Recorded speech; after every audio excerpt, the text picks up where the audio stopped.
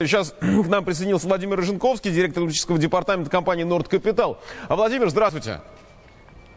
Добрый вечер. Владимир, а, собственно, 15 лет назад индекс NASDAQ находился на тех же уровнях, что и сейчас, но тогда это был, безусловно, пузырь, безусловно, была ничем не оправданная эйфория. А что сейчас? Сейчас все резонно, все разумно. Вы знаете, есть такой ресурс Market Watch. У меня там вчера настоящая полемика в онлайн а, разгорелась по этому поводу. Потому что статья была заглавлена, что индекс NASDAQ уже не такой, как он был 15 э, лет назад. А я там написал фразу, что индекс-то тот же самый, ну, за исключением, что какие-то бумаги вошли, какие-то вышли. А вот люди уже совсем другие. И, в общем, а, такое замечание, оно там совершенно неожиданно вызвало там волну э, споров и пересуд. Мне пришлось защищать, как говорится, свою честь и достоинство. Но э, идея моего, вот так, моей реплики, она была в том, что на самом деле люди, которые в 2000 году э, были, они, собственно говоря, не представляли себе, что такое доткомы. Это была абсолютно новая вещь. Это, э, это была экономика, как говорят, вот э, untapped waters. Это не, не, не, не, или uncharted waters. Это значит, что непройденные пути, так сказать, воды, которые не указаны на картах. И поэтому их можно было простить, на мой взгляд. Да, были какие-то, естественно, надежды, ну, человек так устроен.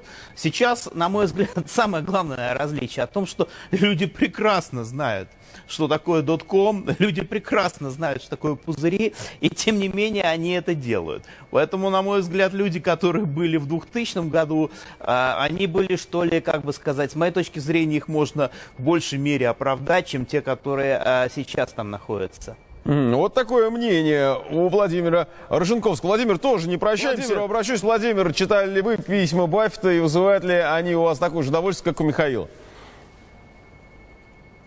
Ну, слушайте, знаете, я вам скажу так, э, Даниил, эта тема довольно спекулятивная. И, как говорится, you never know. Это привет Михаилу, который владеет английским, да. Но вот я вот специально выписал на бумажке э, всех преемников Баффета, начиная с 2012 года. Значит, был уволен Дэвид Сокол за то, что был слишком ретивый. Затем он взял, наоборот, его полного антипода Аджита Джейна, который был тише воды, ниже травы. И потом его уволил за то, что именно он был таким. Затем э, сейчас назывались имена Тода Комбса и Теда Вешлера.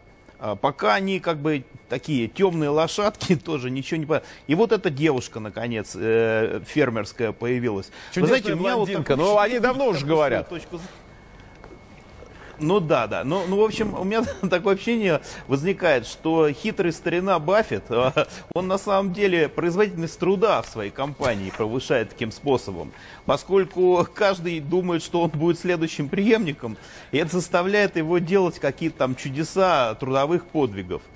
Э, и интеллектуальных.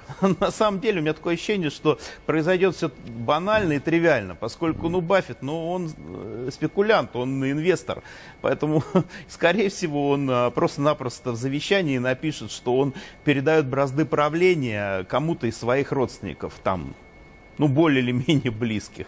Это мое мнение, просто вот как частное мнение, и все. Спасибо большое. Огромное спасибо, Владимир, вам за ваше мнение.